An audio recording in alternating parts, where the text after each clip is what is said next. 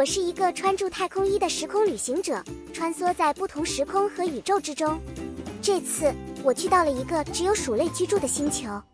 田鼠与家鼠是好朋友，家鼠去田鼠家玩乐。家鼠边吃住大麦与谷子，边对田鼠说：“朋友，你知道，你这是过住蚂蚁一般的生活，外面有很多好东西，去与我一起享受吧。”之后，田鼠跟随家鼠来到城里。家属给田鼠看豆子和谷子，还有红枣、干酪、蜂蜜、果子。田鼠看得目瞪口呆，大为惊讶，称赞不已，并悲叹自己的命运。他们正要开始吃，屋主人打开了门。家属一听声响，害怕的赶紧钻进了鼠洞。当家属再想拿干酪时，屋主人又拿什么东西？家属立刻又钻回了洞里。田鼠虽然很饿，但害怕被捉住，便对家属说。朋友，你自己尽情的去吃，担惊受怕地享受这些好吃的东西吧。我还是去吃那些大麦和谷子，平平安安的去过你看不起的普通生活。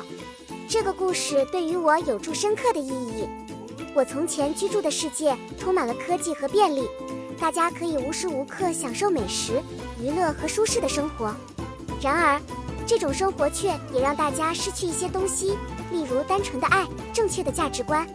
田鼠与家鼠的故事提醒我，简约而满足的生活也是另一种幸福。即使没有豪华的物质包装，只要是自己想过的生活，也能感到真正的幸福和满足。